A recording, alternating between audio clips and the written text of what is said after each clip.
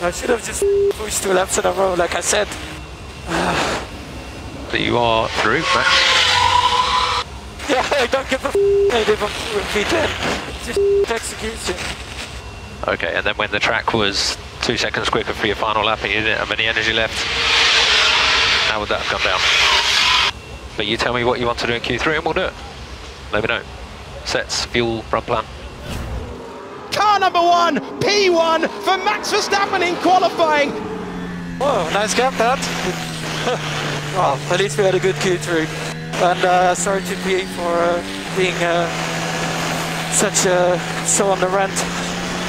Slowly getting used to it, Max.